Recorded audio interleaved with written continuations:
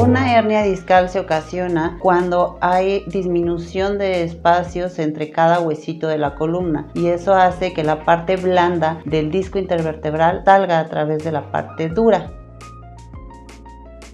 Los síntomas van a depender mucho de cada paciente. Hay pacientes que no perciben nada y hay otros tantos que por el roce que hay con el nervio pueden llegar a tener dolor o pueden llegar a tener disminución de fuerza o sensación de adormecimiento.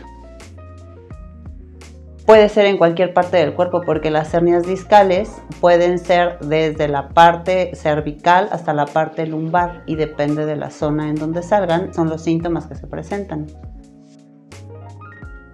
Los tratamientos van desde rehabilitación, medicamento, intervencionismo, eh, bloqueos, depende mucho de cada paciente y los requerimientos que tenga cada uno.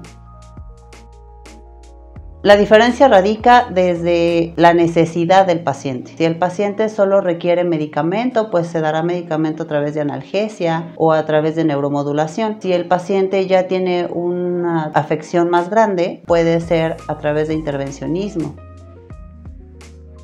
Aquí en Clínica Comedem podemos ayudar con el tratamiento para este tipo de padecimientos de hernias discales. Contamos con médicos especialistas y capacitados para poder ayudarlos.